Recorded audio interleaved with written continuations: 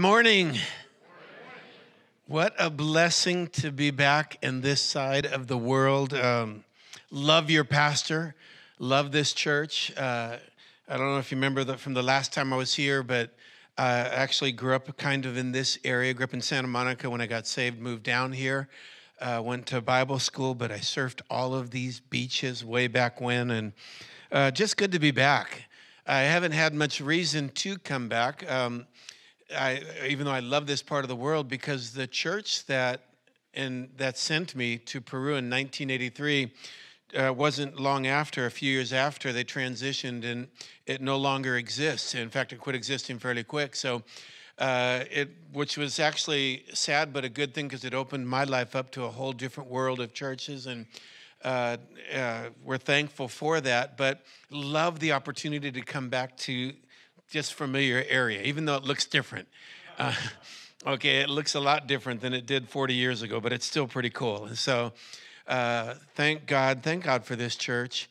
Uh, as I get into something, I'm going to open up in a few minutes and read a scripture out of uh, Luke chapter 17. You, if you want, you can just hold a finger there.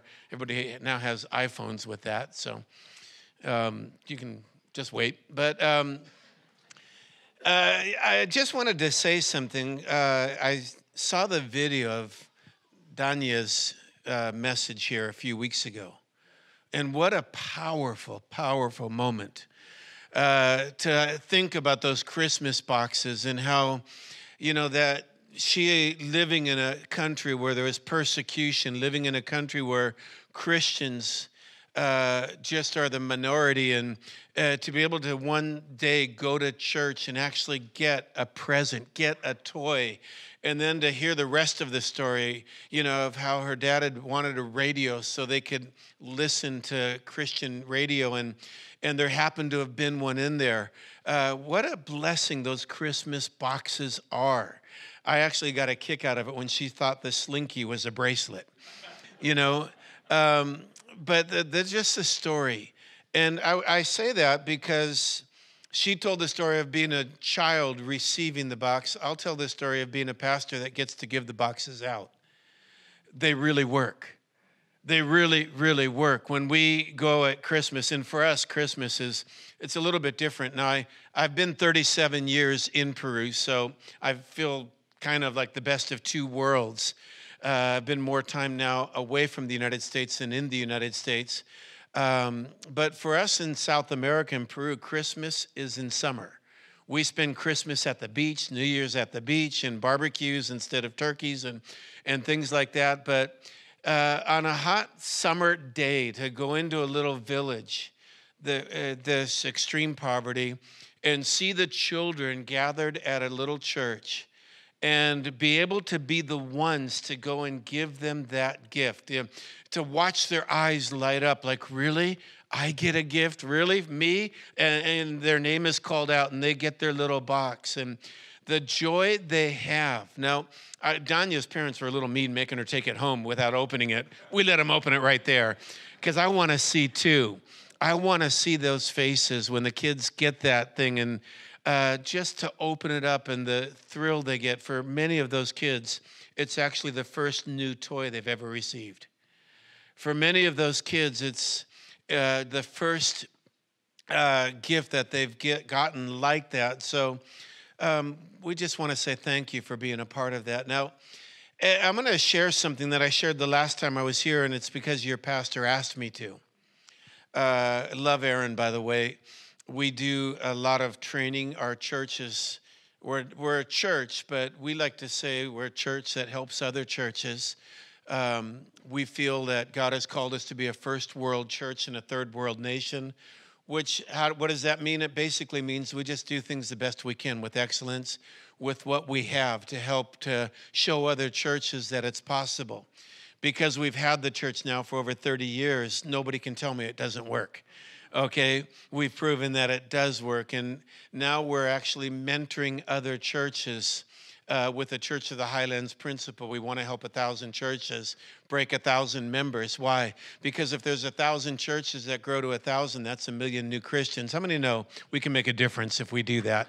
Amen So we uh, have trainers that come down, and your pastor is actually one of our trainers. And just to brag on Pastor Aaron just a little bit, uh, I shouldn't say this because I know it's being recorded and it might get around.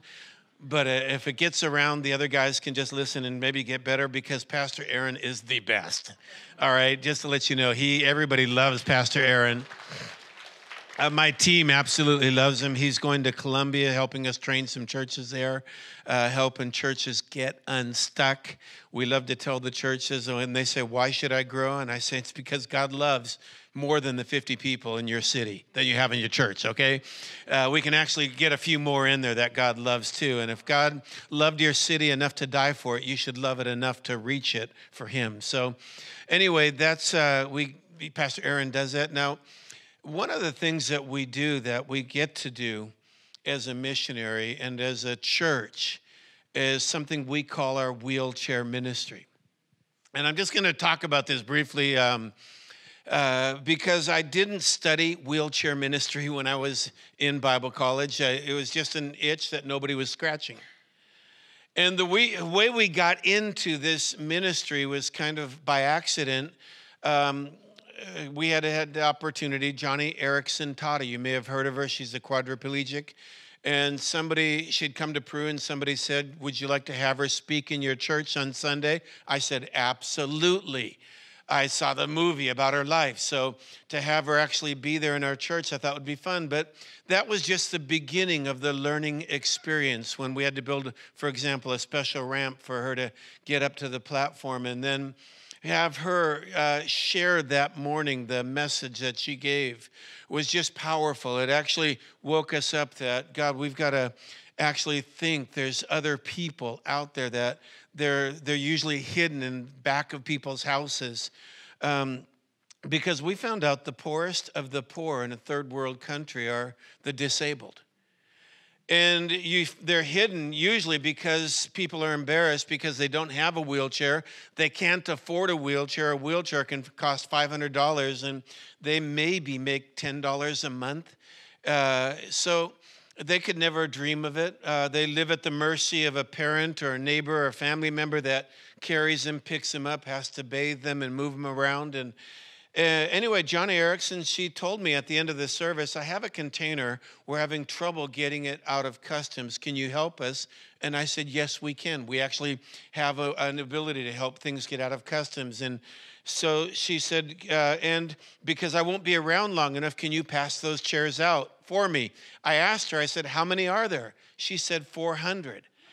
And I'm going, 400? Where am I going to give away 400 wheelchairs? I'll never forget the look on her face. She goes, Oh, you'll find them. And she smiled. She just said, You'll find them. And I said, Okay, we'll do it. I, somebody in our church said, Well, there's a, a poor town, a shanty town just south of Lima.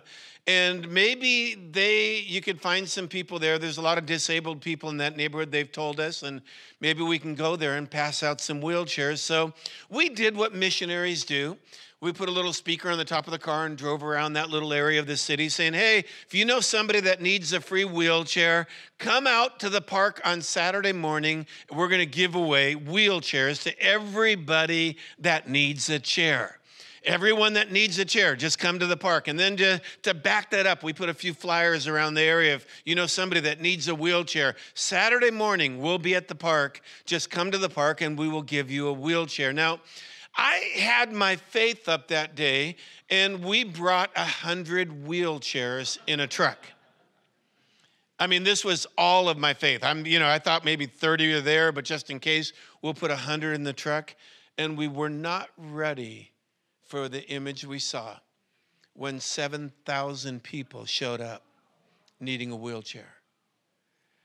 Crawling, being carried in wheelbarrows on people's backs every way possible. And you know, you can cause a riot if you promise something and can't deliver it. And and I just sat there and I said, I had no idea. Well, I don't know how. I don't know what we're going to do, but we'll find a way. We're going to find a way to get these wheelchairs to you. Somebody on the team said, Well, there's this guy over in Newport Beach. You might call him. And I'll tell the rest of the story in a minute, but I did. after that, I called him and I said, Hey, we need some help. And he, and he goes, What do you need? And I said, Wheelchairs. He goes, you, could you could you handle a container? I said, absolutely. And and how long would it take to get here? He says, well, I, I have a container right now. I'll send it your way. Later, I found out we were the very first wheelchair he passed out. So eh, I'll tell the rest of that story in a minute, but a picture is worth a thousand words. So rather than tell you about our wheelchair ministry, let me show you a video of it. So,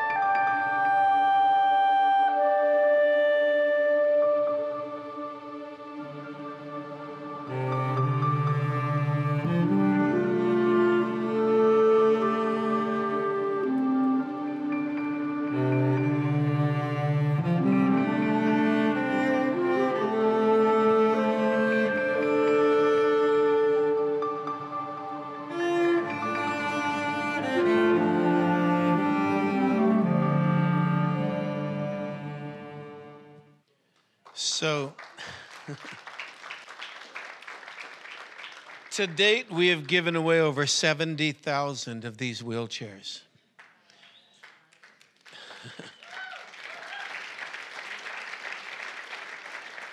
The, the thing is, and I'll just mention this if you look at the chair, people say it's kind of a funny looking chair, but you have no idea how practical it is. First of all, it's mountain bike tires, so uh, it does roads in third world countries are uneven and they can go across uneven roads. You don't need a medical engineer to fix it. Any bike mechanic on the corner can repair it. And the plastic chair is practical because they can take a bath in it. So it's just got some simple things to it. Now we've progressed on to a, what they call Gen 2 chair. And I want to go to show you a little story. I know I shared this last time, but about a year ago, I was invited to a special delivery. And it wasn't easy to do what we did. We had to fly a couple hours, and then we got in this truck. Uh, you'll see it going over some Andes Mountains Road, but we got into this truck and had to drive about eight hours into a little village as they're finding the picture. Um, here we go, driving in this little truck uh, several hours into this little mountain village because there was a little girl there whose name was Floor.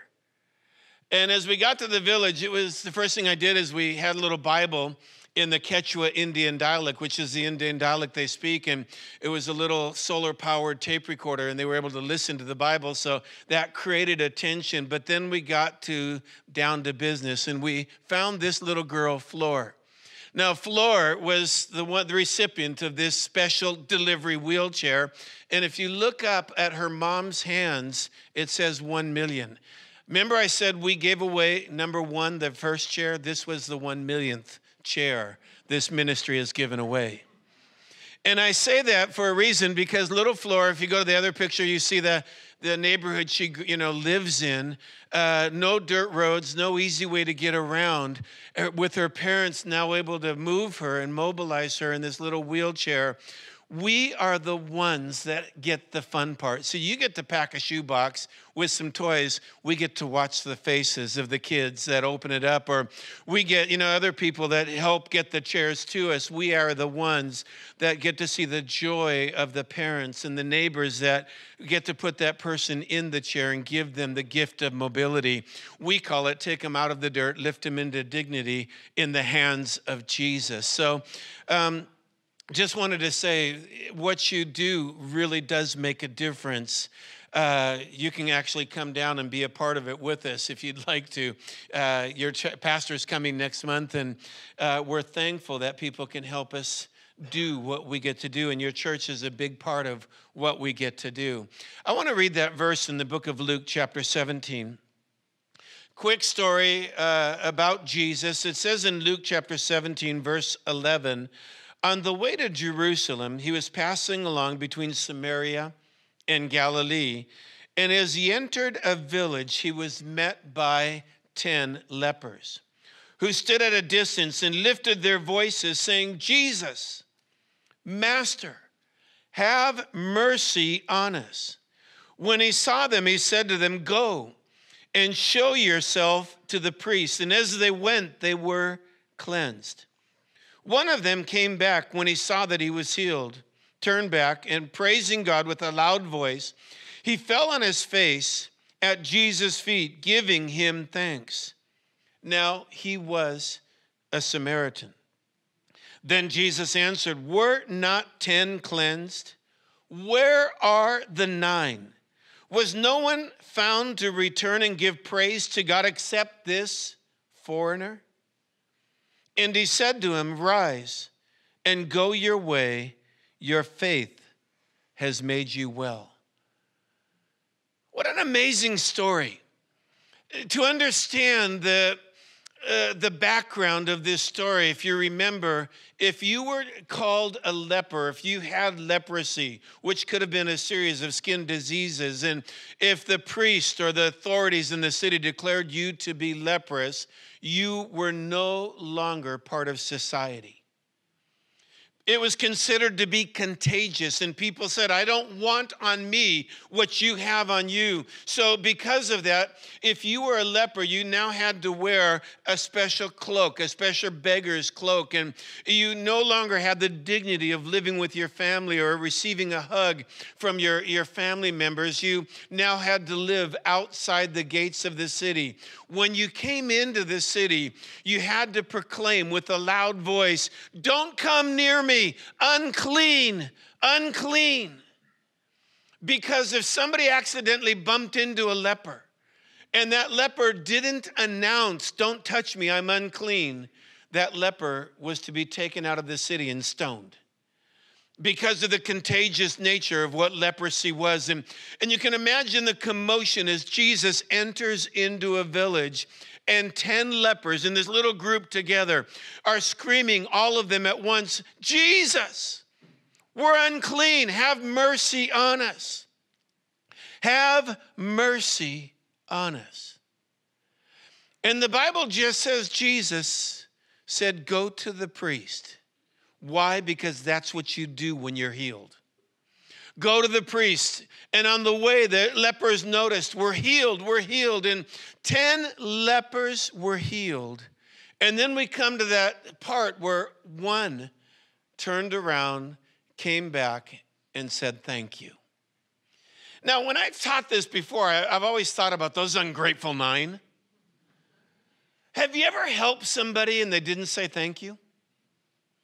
Have you ever done something for somebody and they never took the time to come back? I mean, especially this. Here, these men are they were given their life back, their dignity back, their future back. They can leave the beggar's cloak behind. They can go back to the family. They no longer had to scream out as they walked through the city, Don't touch me, I'm unclean now.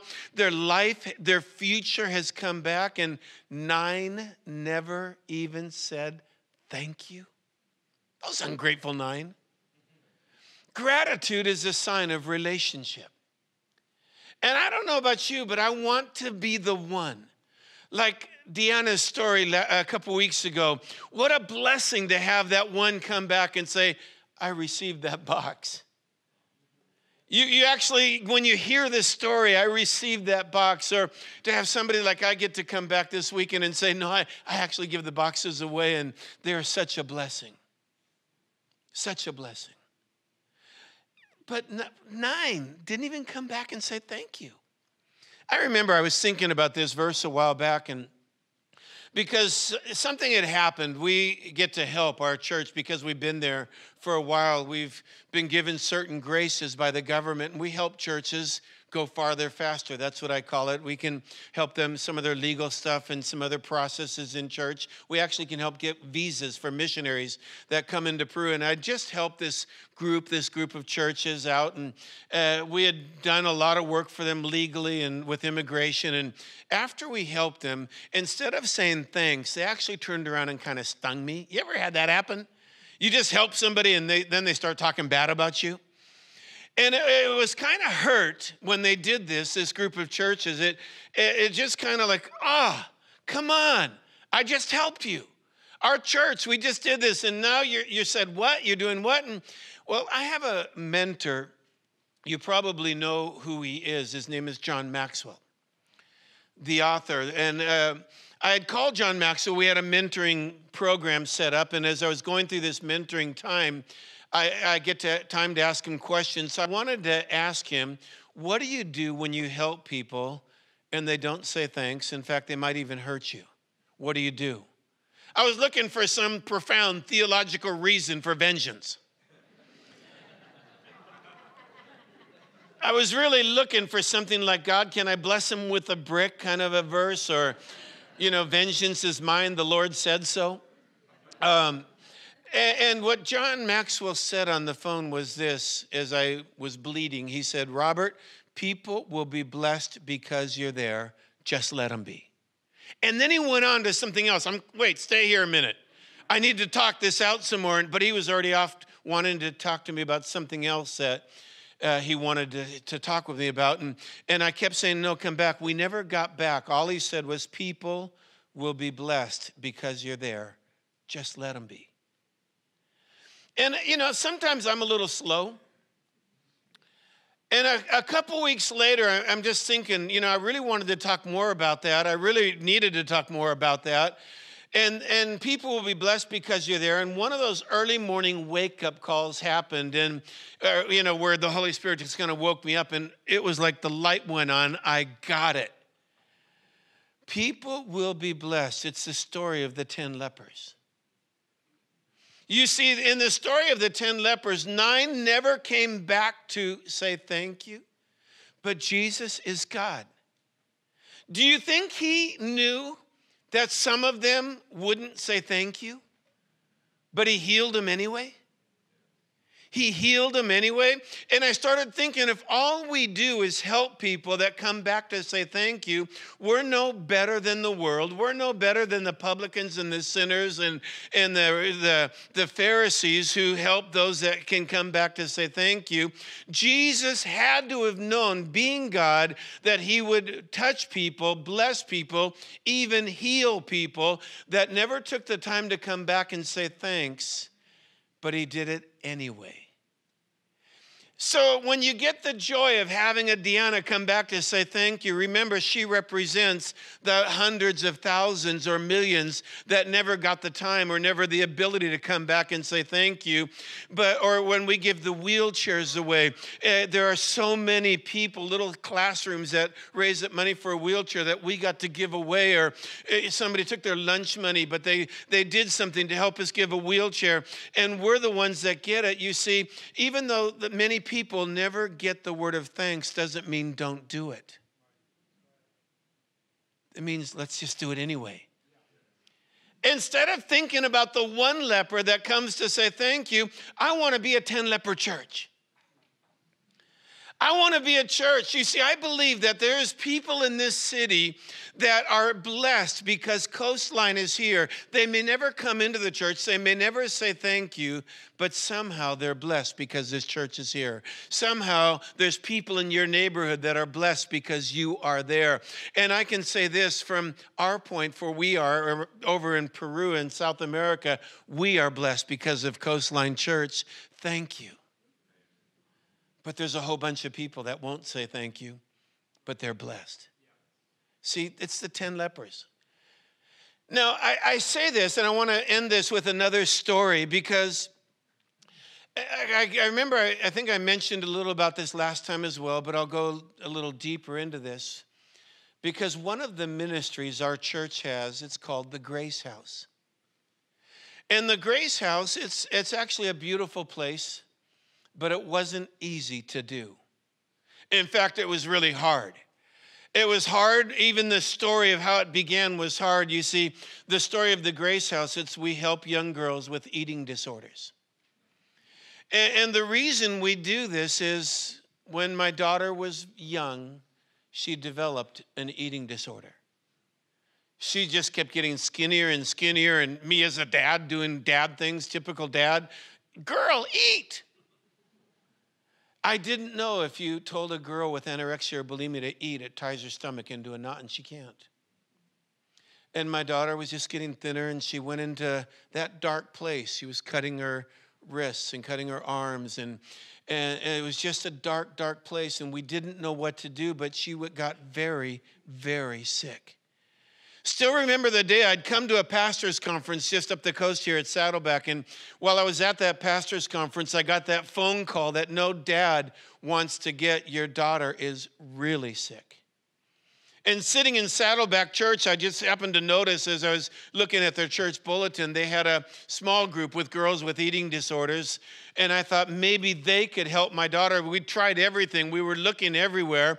The only place we found was this little place in Arizona, but this place in Arizona cost $2,000 a day. And they, we're missionaries. There's no way we could afford that. There's no way we could have paid that, but dads will do anything. They'll sell everything they have to, to help their daughters. We just, I couldn't even do that. So we said, God, you've got to do something. This girl, she's just wasting away. And, and she loved God, she just didn't love herself. And I, I, remember when I got that phone call, I said, listen, send her on the plane, whatever it takes, get her back to where we are now.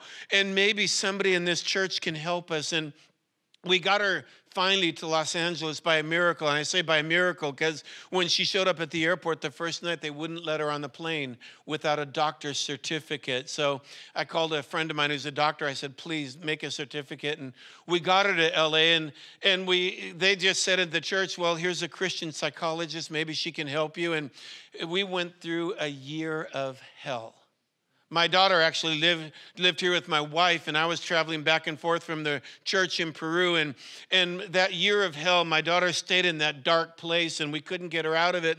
The psychiatrist, as much as she tried, she couldn't get her out of it. And it was just this moment where it was just a hard, hard year.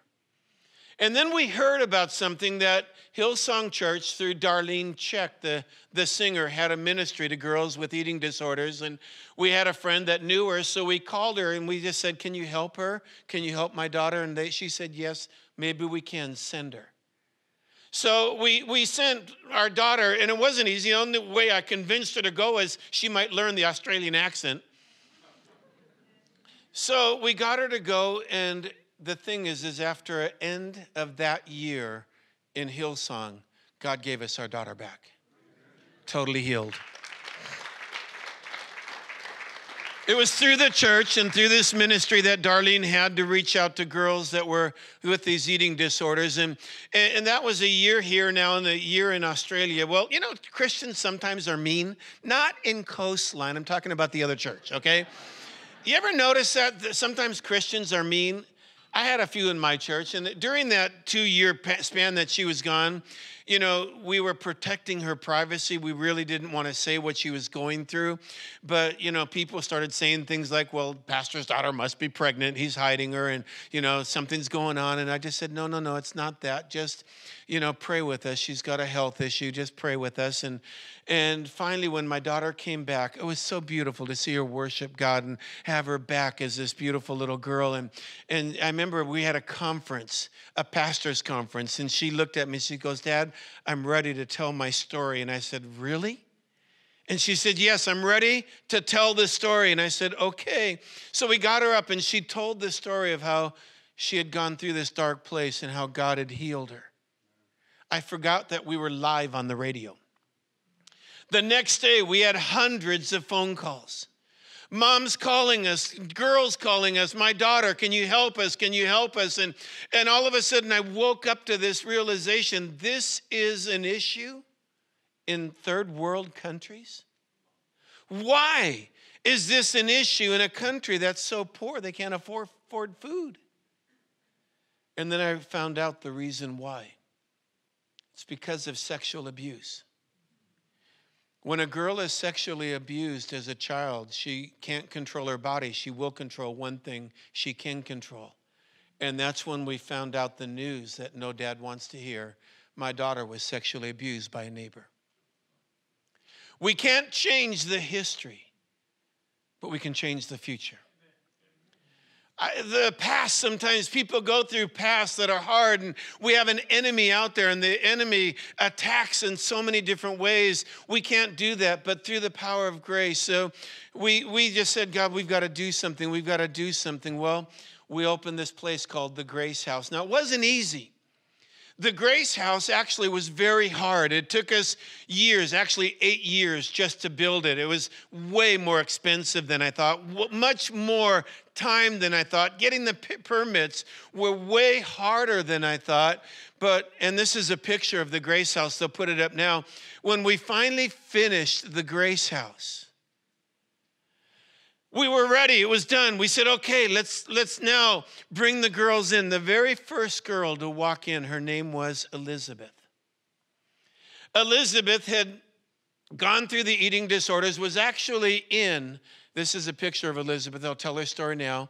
She was actually in a government home and was abused in that home and when, when somebody said, There's another house you can go to, she said, No way. And they said, No, this is a Christian home. And she said, I don't care. I don't want to go. And they said, You can leave anytime you want. And she said, If I don't like it, I can leave. Yes, okay, I'll try it.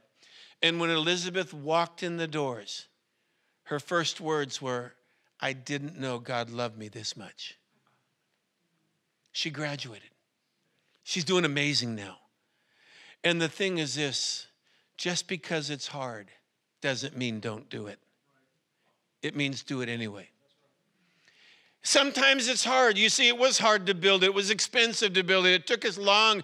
And we, when the girls come in there, we don't charge them anything. They're not there because mom and dad have money. They are there because Jesus loves them. And that's the healing process. Is It's a faith-based thing where they come there and, and they go through this process of healing. And, and when she walked out of there, she's now getting married soon. She's got a beautiful life ahead of her. You see, it's hard, but it doesn't mean don't do it. Those shoe boxes, you, you think it's hard to pack them, try to get them out of customs. When the customs agent says, How am I going to look in each one of these boxes on that container to make sure it's just a toy in there? Or to get them into a warehouse and to find the churches, divide them out, boy, girl, by the names, and, and get them to that village that's two days away in a, in a car ride and, and to find those kids. But you see, just because it's hard doesn't mean don't do it, it means do it anyway. Amen? You see, sometimes we look for easy. And if you listen to Deanna's story that was here just two weeks ago, I can only imagine how hard it was to get that in a, in a Muslim country to a Christian church, those boxes. It must have been hard, but it was worth it. You see, the cross was hard, but it was worth it. And sometimes we look for easy, we want easy. But if it's hard, doesn't mean stop. It just means do it anyway. 10 lepers One came back. But you know, for every one that you get to hear from, there were nine others that went home praising God. Went home saying, The most amazing thing happened today. I've got my life back. Look what God did. So let's be a 10 leper church. Amen. Instead of worrying about the ones that come back to say thank you.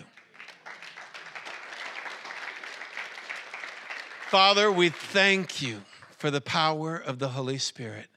And I thank you for this church that is concerned not only about Carlsbad and this part of the world, but they're also looking beyond to see what else they can do to help other places.